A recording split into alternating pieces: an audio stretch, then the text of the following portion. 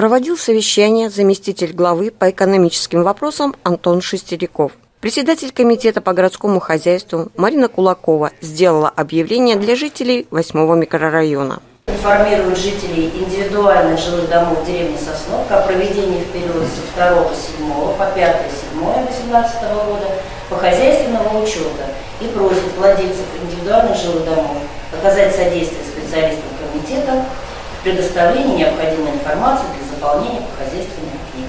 Генеральный директор МУП ККП Вячеслав Сидунков сообщил о ходе ремонта в многоквартирных домах и на теплосетях второго микрорайона. Завершены у нас работы в районе 23-го дома, в районе 16-го дома.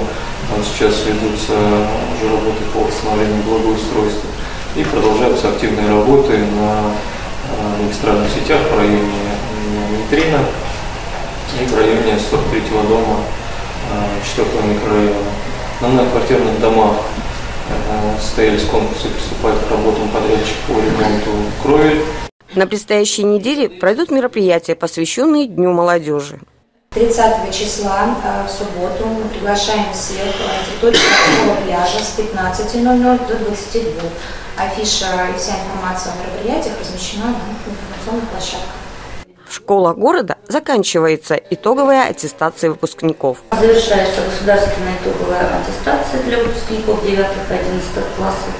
И на этой неделе 26, 27 и 29 июня пройдут выпускные вечера в школах.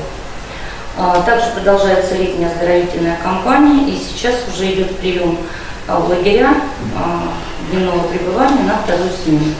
Во второй смене у нас будут работать лагеря на базе Дома детского творчества, школа номер 3 и школа номер 1. Безработица в городе составляет 0,68%.